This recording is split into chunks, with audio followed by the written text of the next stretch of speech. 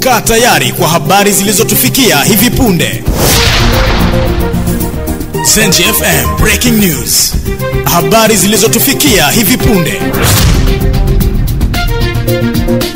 Muungwana, kama ambavyo tulikujuza pale mwanzoni kwamba tutakuja kuingia na wewe kwenye breaking news. Kuna taarifa ambazo zimetufikia hivi punde, na tunajaribu kutafuta ukweli wa undani wa taarifa hizo ambazo uh, zinatajwa kwamba kwenye makontena ya mji mkongwe pale uh, ndio sehemu ambayo inatajwa kwamba kuna sauti za watu pia zinasikika. Ninaye Fatuma muhamed Mundani na tuko kwenye harakati za kumtafuta pia Kamanda Nasiri eh, kutujuza undani wa taarifa hii ambayo imekuwa ikizungumzwa kwa muda mrefu. Fatuma, karibu sana. Na uh, moja kwa moja tayari hapa kwenye line tunaye kamanda wa polisi mkoa wa mjini Maghrib, Kamanda Hassan Nasir. Bila shaka kamanda, unanipata vizuri kabisa? anakupata vizuri. Aha, uh, kamanda, kuna taarifa ambayo tumeipata na imekuwa sasa hivi uh, mitandaoni kuhusiana na eneo hilo la Malindi kwenye yale makontena. Inasemekana kwamba kuna moja kati ya kontena katika eneo hilo, kuna sauti za binadamu ambazo zinasikika katika maeneo hayo, na taarifa ni kwamba kuna ukaguzi ambao unaendelea kwa sasa. Kamanda, hebu tuambie taarifa hizo zikoje, na pengine bila shaka utakuwa umefika katika maeneo hayo. Ni kweli, ni kweli. Labda niwaambie sasa wasikilizaji wetu kilichotokea, Naam.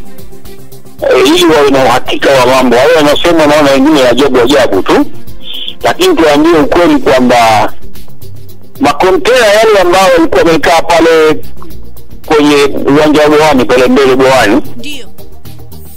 makontena ambayo yalishatumika na yakawa yamewekwa pale kama ni storage pia pale nje. Naam. Huyu kijana aitwaye Hassan Juma Hassan ana miaka thelathini na sita maarufu anaitwa Mtanga, Hassan Mtanga wa Miembeni, ambaye tumepata taarifa kutoka kwake mwenyewe sasa akiwa anaongea kwa shida pale Mnazi Mmoja baada ya kupatiwa tiba na madaktari wetu pale kwamba alikuwa anarudi kuvua Malindi alipita hapa nje sasa hapa kunakatisha kutoka Malindi mpaka unafika hapa Gawani kwenye makontena, mvua ikawa inanyesha kubwa. Ilivyokuwa mvua kubwa inanyesha, ah, akaona kuna kontena liko wazi, akaamua kulala. Bahati mbaya usingizi ulimpitia sana, na operation za bandarini zikawa zinaendelea, makontena yakawekwa karibu na kontena lake, akawa hawezi tena kulifungua kutoka, lakini bado alikuwa akipata hewa. Amekaa hapo, hana mtu wa kumwomba msaada, kwa sababu makontena yamekaa yamebanana banana pale, lakini Mungu mkubwa, baada ya siku ya nne leo operation ya kuyaondosha makontena kuwarusha bandarini kwa kuondoka na meli ikawa imefanyika, na yeye akapata basi angalau kuashiria, kwa sababu hana nguvu tena, na watu wamemwona, na polisi tumeitwa, tumeenda, tumempeleka hospitalini. Tunawashukuru madaktari wa hospitali ya Mnazi Mmoja, wamefanya kazi nzuri, ameweza kuongea hata kwa shida. Hii taarifa ambayo tumeipata, tunaendelea uchunguzi ili tupate ukweli wa taarifa nyingi- taarifa zaidi. Na, na, na, na kamanda, kwa siku zote hizi nne ambazo yeye alikuwepo kwenye kontena uh, kwenye ofisi yako kitu hamjawahi kupokea taarifa ya mtu kupotea, yaani kuto kuonekana kwenye familia yake? kwangu, sikuwahi kupata taarifa yote hiyo, lakini baada ya yeye kueleza ni mtu wa wapi, sasa tumeshafika nyumbani kwake, ni mtu mwenye familia yake na anafahamika, lakini hawakuwahi, sieni, sisemi kama hawakuripoti, lakini taarifa zile za kupotea watu zikiandikwa, wakati mwingine si lazima zinifike mingi Ndio. na kwa maana hiyo sikuijua. okay. Uh, na kamanda, pengine sasa kijana huyo hali yake ya kiafya ikoje? Ah, ilikuwa sio nzuri, lakini madaktari wamefanya kazi kubwa sana, na sasa hivi angalau tumtafuta taarifa ya kipolisi kwa sauti yake ya kwanza.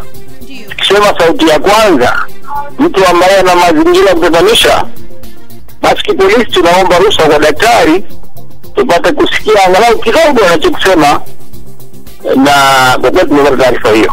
Tunawacha madaktari waendelee na kazi ya kumtibu ambayo wanaendelea vizuri.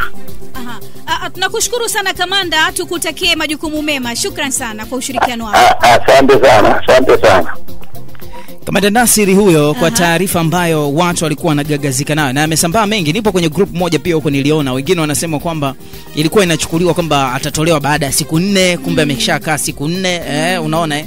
Kumekuwa na- kuna taarifa nyingi. na, na wengine wamekuwa wakizungumza Beid kwamba uh, inasemekana kwamba kuna watu wa katika makontena yale, yani kuna mambo ambayo yanafanyika. Unajua, kila mmoja amekuwa Yeah. akizungumza lake. Yeah. Tukaona kwamba Zinji FM Radio baada ya taarifa hiyo, basi tumtafute kamanda wa polisi ili tuweze kusikia anasemaje, kwa sababu tunafahamu kwamba na tunajua kwamba lazima kamanda eh, katika mkoa wake atafika katika eneo, hi, eh, eneo lile, na bila shaka ukaguzi wao utakuwa ndio wanafanya pia ukaguzi wakishirikiana na, na watu wa bandari pale na Yeah. kuweza kujua ule ukweli. Lakini bila shaka msikilizaji, baada ya kumsikia kamanda Nasir, kamanda wa polisi mkoa mjini Maghrib, mm. bila shaka taarifa hiyo umeipata sasa kwa ukweli eh, kabisa mm. na taarifa ziko kama hivi ambavyo tumeweza kumsikia kamanda Nasir akielezea kijana huyo na amepelekwa hospitali na ilikuwa hali yake haiko vizuri sana, sema Uh, madaktari wanaendelea wanaendelea hivyo, lakini pia walifanya juhudi kubwa ili alau wapate sauti ya kuweza kujua ukweli wa mambo. Yeah. Sasa tumefahamu bila shaka wote msikilizaji, kwa sababu